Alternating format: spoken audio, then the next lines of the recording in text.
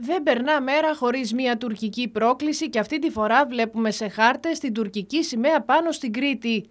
Οι Κεμαλικοί απαιτούν την προσάρτηση σχεδόν ολόκληρου του νησιού.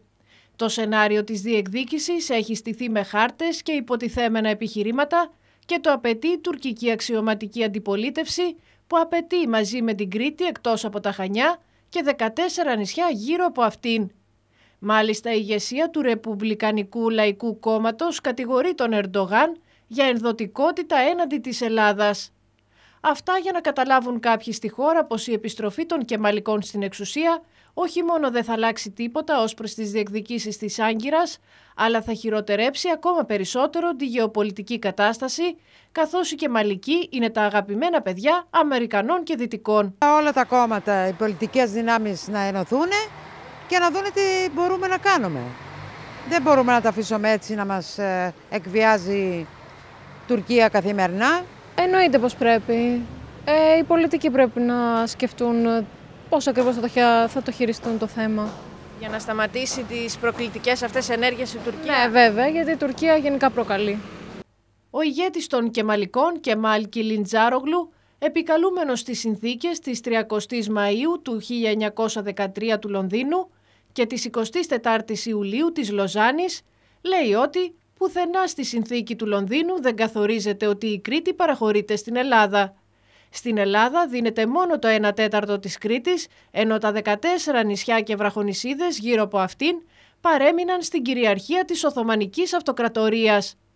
Από το 2004 η Ελλάδα έχει καταλάβει τρία νησιά. Αυτά είναι η Γάβδος, το Γαϊδουρονήσι και το Κουφονήσι.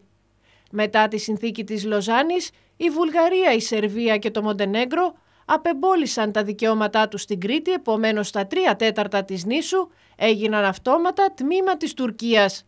Έτσι η Ελλάδα σήμερα κατέχει παράνομα τα υπόλοιπα τρία τέταρτα της Κρήτης, καθώς και τα παρακείμενα νησιά, νησίδες και βραχονισίδες. Θα πρέπει άμεσα να τα παραδώσει, λένε οι Κεμαλικοί στην Τουρκία, και να απομακρύνει τις στρατιωτικές μονάδες, τις στρατιωτικές εγκαταστάσεις και τους πυράβλους S-300 που έχει εγκαταστήσει εκεί παράνομα από το 1999. Πώς την ερμηνεύει όπως λέτε ή όπως τις δείχνουν τα όνειρά της. Δεν νομίζω να κανένας λογικός άνθρωπος να πιστέψει αυτό το πράγμα. Η χώρα μας καθυστερεί να κάνει αυτά που πρέπει να κάνει μετά δεν είναι ούτε θέμα κάθε κυβέρνησης ούτε τίποτα. Είναι θέμα Ευρώπης πια αυτά τα πράγματα που σε ό,τι τους φέρει έχουν την Ελλάδα. Σε ό,τι δεν τους φέρει καμία υποστήριξη από κανένα κράτος. Πρέπει να πουλήσουμε την Ελλάδα για να δούμε άσπρη μέρα όλη η Ελλάδα. Αυτά τα κάνουν οι Αμερικανοί από την μια μεριά ή τα συμφέροντά τους. Όλα αυτά αποσκοπούν σε αυτό που όλοι πλέον γνωρίζουν και είναι η αρπαγή των τεράστιων κοιτασμάτων που βρίσκονται νοτίως της Κρήτης.